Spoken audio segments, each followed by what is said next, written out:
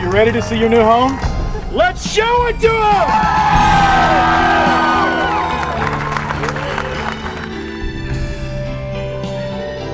You missed him, didn't you?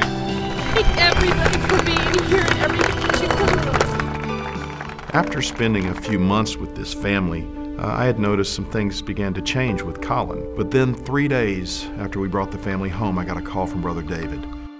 Colin was in the hospital. Looking at the blood count and cells under the microscope, I was 99% sure that this was leukemia. I'd see other kids on TV, you know, these kids got cancer, and now I'm with, like, I'm another kid in this group of statistics, you know, that either did good or did bad.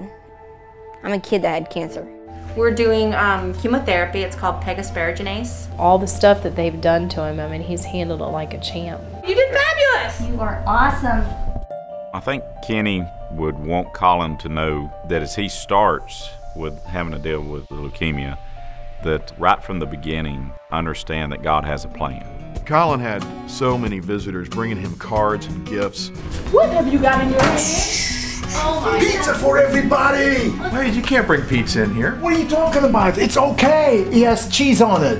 everything that the family had went through, you know, how could they go through another tragedy like this? I couldn't imagine what was going through Karen's mind. And it's just amazing to think what Karen had ahead of her, and she took it in stride. She listened, she knew what she had to do, and when she left, I had utmost confidence that she would handle it. We've just begun to experience what we're going to experience with Colin. But I'd like for things to get back, you know, as close to normal as possible.